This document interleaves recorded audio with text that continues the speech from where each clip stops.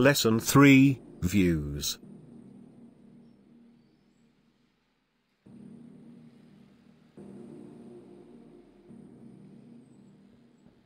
A view is a named virtual table that is defined by a query and used as a table. Unlike permanent tables, a view has no physical representation of its data unless you create an index on it. Whenever you issue a query against a non-indexed view, SQL Server in practice has to access the underlying tables. When you create a view, you specify a name for the view and a query. Microsoft SQL Server stores only metadata information about the view, describing the object, its columns, security, dependencies, and so on. When you query a view, by retrieving or modifying data, the query processor replaces a view reference with its definition, in other words, the query processor expands the view definition and generates an execution plan accessing the underlying objects. Part 1, Creating a View.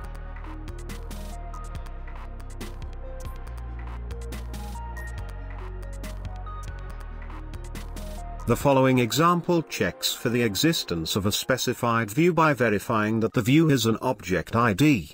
If the view exists, it is deleted. If the view does not exist, the drop view statement is not executed. A view can be created only in the current database. The create view must be the first statement in a query batch. A view can have a maximum of 1024 columns.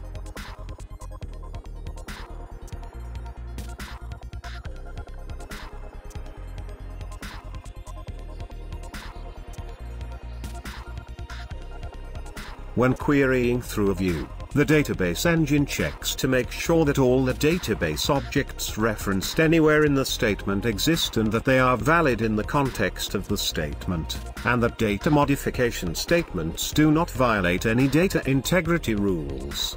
A check that fails returns an error message. A successful check translates the action into an action against the underlying table or tables.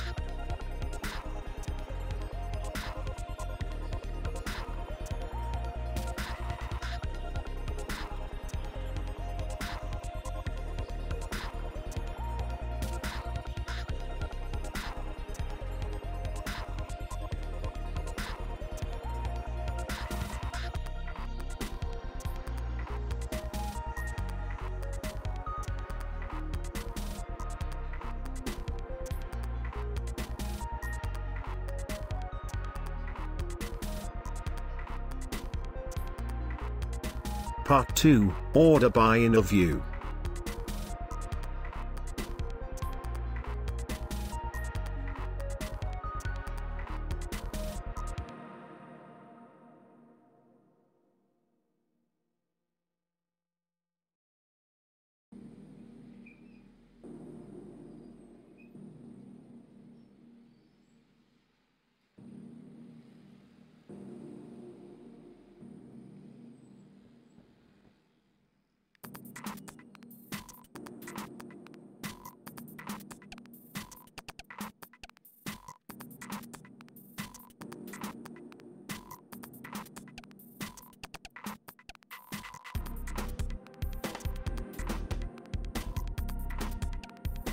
Try running the following code, which attempts to introduce an order by clause.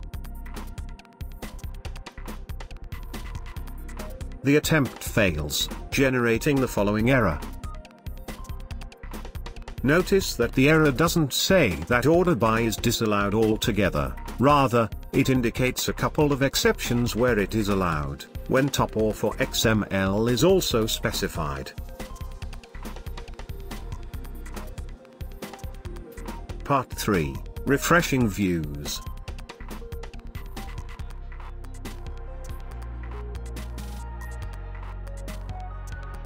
When you create a view, SQL Server stores metadata information describing the view, its columns, security, dependencies, and so on. Schema changes in underlying objects are not reflected in the view's metadata information. After applying such schema changes, It's a good practice to refresh the view's metadata information using the SP refresh view stored procedure so that the changes are reflected in the view.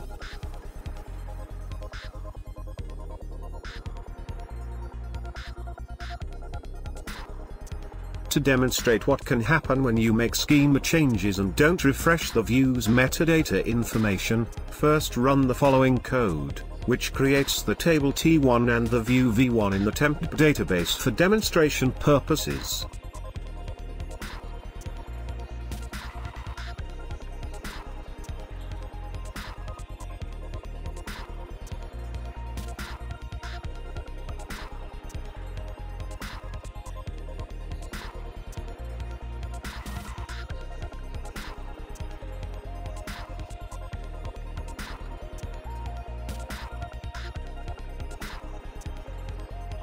Run the following code to query the view.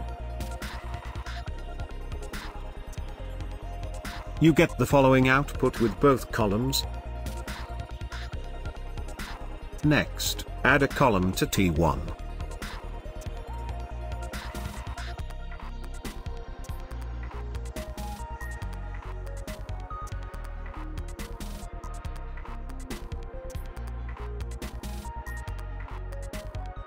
If you execute the select query again, you still get only two columns in the output.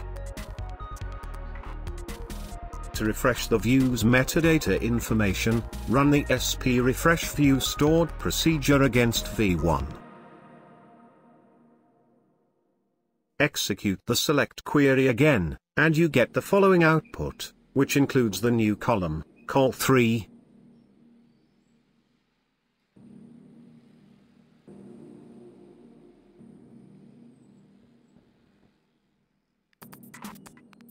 Part 4 Encryption and Schema Binding.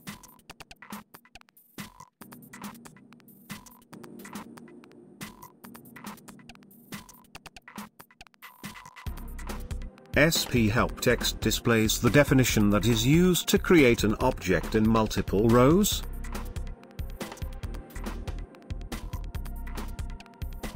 If you specify the encryption option, the object's text will be converted to an obfuscated format. But don't rely on this option as an encryption mechanism to protect your intellectual property. If you create a view with the schema binding option, SQL Server rejects attempts to drop underlying objects or make any schema modification to referenced columns, schema binding option has two syntactical requirements in terms of the query defining the view. You must use two part names for all objects, for example, Bo cars, not just cars, and the use of asterisk is not allowed in the select list. Instead, all column names must be specified explicitly.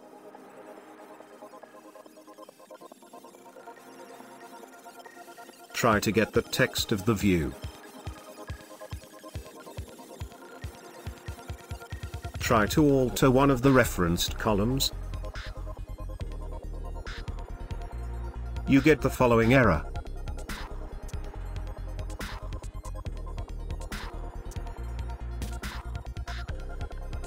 Part 5, check option.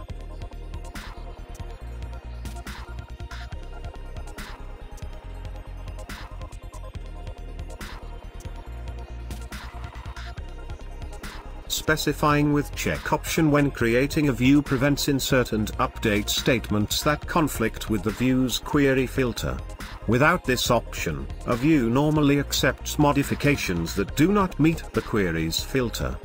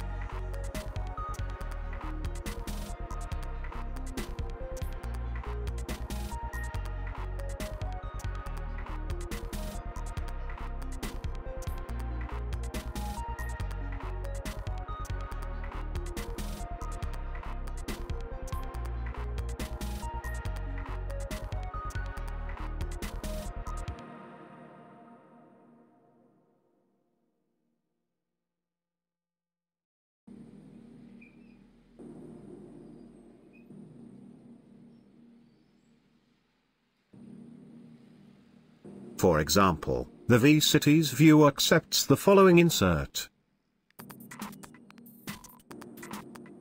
The new city was added to the cities table, but obviously when you query the view, you don't see the new city.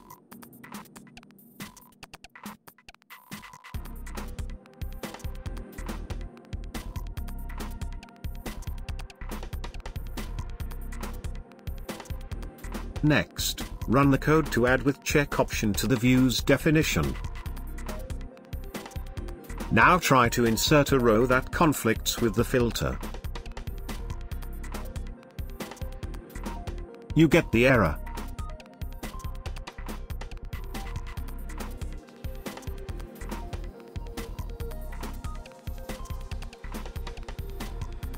Part 6, Indexed Views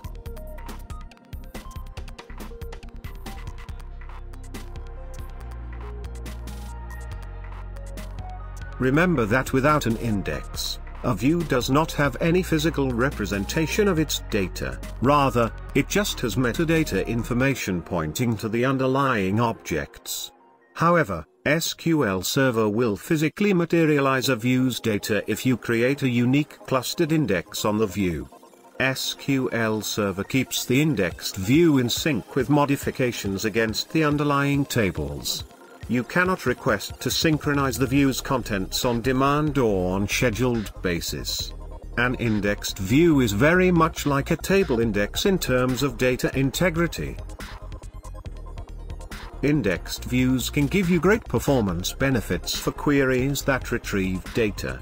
Indexed views can substantially reduce the amount of I/O required to return data and the processing time required for expensive calculations substantial performance gains can be achieved, for example, for data aggregation queries or expensive joins.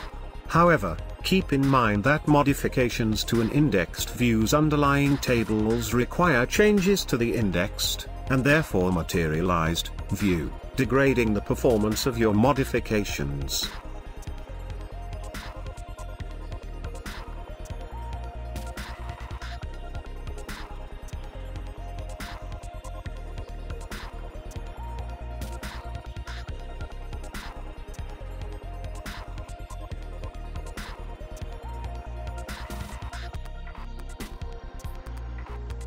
The view must be created with the schema binding option. If the view's query aggregates data, its select list must include the count underscore big aggregate function. Count underscore big is the same as count, except that its result type is BigInt.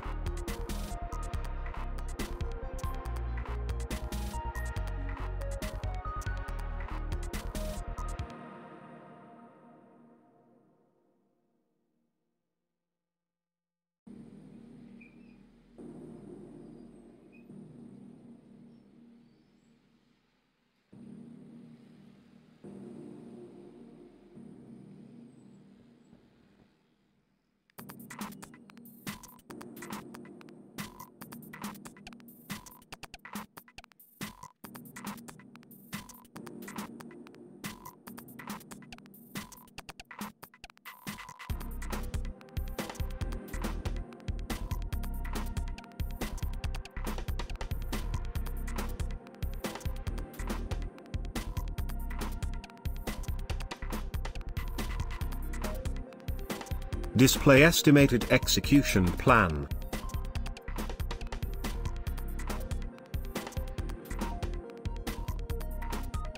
Create clustered index.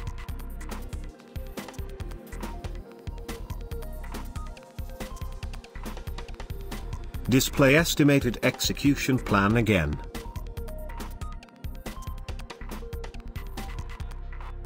The plan shows that the view's clustered index was scanned.